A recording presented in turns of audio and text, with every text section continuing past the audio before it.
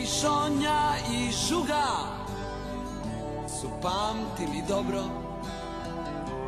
Šta im je te večeri govorio lepi? More je provod, more su koke. More je izvor života, je li tako, moke?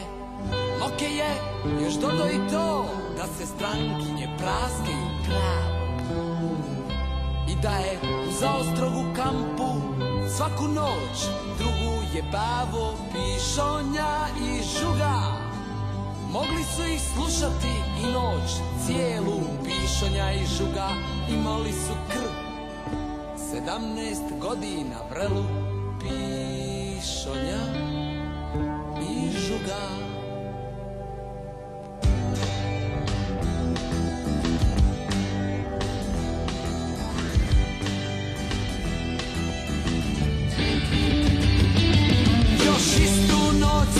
su pišanja i žuga Maznuli kasetaš iz doma invalida. A malo zatim i autobus Autoprevoza sa hrida Pišanja ubaci u brzinu To vrelo ljeto već oko 22 časa. A sada pravac more Viknu žuga i sve glasa. Pišanja je vozio i pušio duvan Žuga voli crne, a pišanja plave A poslije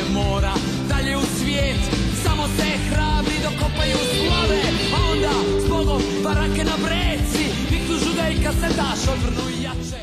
Dobit ćete razlog za safari Zbogom žohari. Pišonja i žuga. Dva vjerna druga.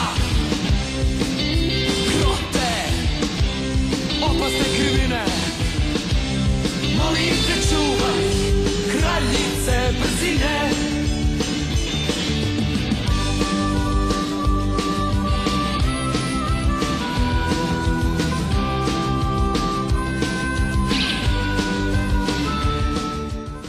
Evo dragi moji, trenutno se nalazimo u putu.